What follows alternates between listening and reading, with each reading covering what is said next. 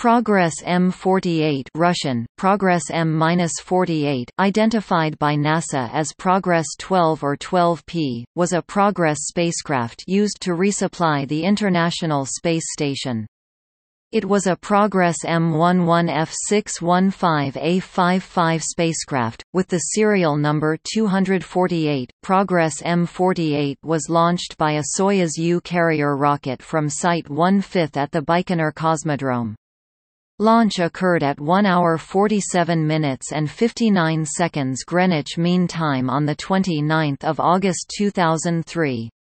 The spacecraft docked with the aft port of the Zvezda module at 3 hours 40 minutes and 45 seconds Greenwich Mean Time on 31 August. It remained docked for five months before undocking at 8 hours 35 minutes and 56 seconds Greenwich Mean Time on 28 January 2004 to make way for Progress M1-11. It was deorbited at 1311 Greenwich Mean Time on the same day.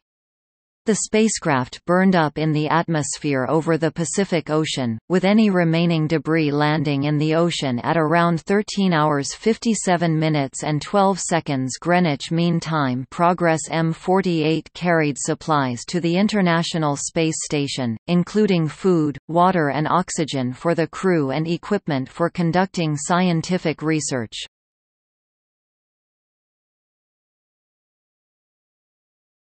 Topic See also List of Progress flights List of unmanned spaceflights to the ISS